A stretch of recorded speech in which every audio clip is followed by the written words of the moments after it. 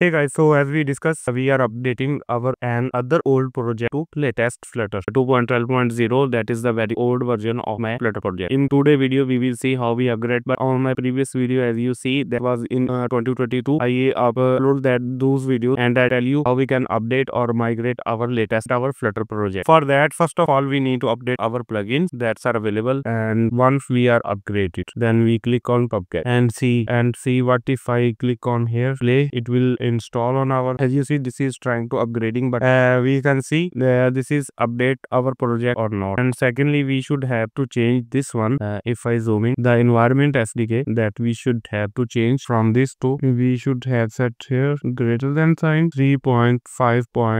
3.5.0 or you can here i think this is the latest one. So after that as you see so this is done and see what is the running condition. It's still running. Once it's done and show us error i will show you. As you see this say there are lots of error. It will show us like this one the fix Flutter fix and upgrade version is required and these are things what we do right now. First of all we should have to delete this android. We do not we do not anything. Just just one thing you should have to make sure before the deleting you have checked the all the configurable files like archive store and the other that dependency is native implementation is founded or not. If not that's fine if founded. So first of all backup of this android folder. This was the com example dot shop this is by default. I did not change this yet. So we can easily remove this one. Android.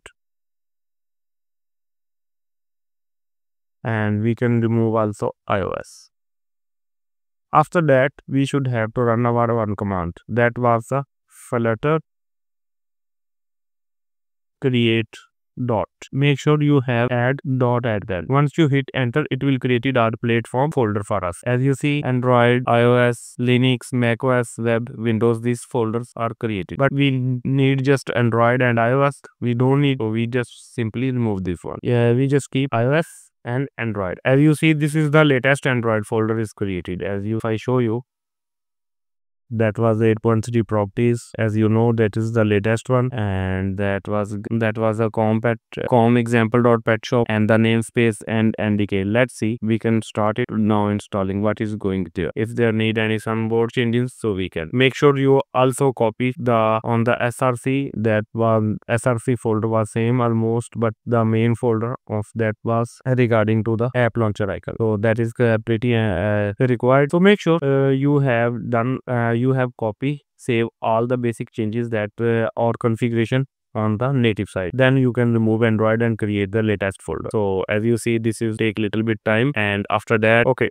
so it will show us error. As you know uh, my last video for flutter upgradation that way after gradle issue that we are face we are facing same issue. So how we can fix that one? We know that uh, you follow computer code. So we know we just simply change this one and change this one. Android ndk jvm version same as it. And compile sdk version was 34 to we can set 34 right now. Minimum we can set 35 and the target version was 34 that's it. Uh, but still this is not work as you know. Uh, because on the, if you see my last video we can uh, i mentioned or we can up update or fix our gradle issue. So this is not work right now. So for that we said make some new changes 1.9.0 and we can change it 8.5 after that see what the error we are seeing. Okay it's i think running. No it's not running. It required 8.3 to 8.7 so how we can do that one? We can change the wrapper and set it 8.7 that okay we run this and see what is going happening this is installed or not let's see. If this is done that's okay. So this way we can upgrade our flutter old project to the latest flutter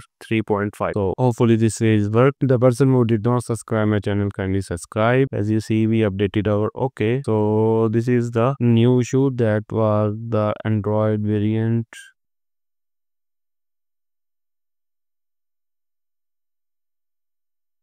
Okay, what's the issue is there? We should have to call this one dependencies upgrade and now see what is going happening here. Okay as you see that was the upgrade uh, pub, uh, pub upgrade we should have to call once. After that as you see this is the ndk version issue and this is a basically warning but we did not ignore warnings as well. So we can set here ndk version is this one. So our issue will be gone. As you see this is going on install but uh, we did not wanna see any kind of warning. So we can see how we can remove it. This is our pet shop. As you know if you follow me from starting to this channel so we created this this while using a This is our project. So this way we can upgrade our project. But once I close this one and run again and see the warning after adding this one NDK version, the warning will be gone. Yeah. As you see, the warning will be gone. Thank you very much.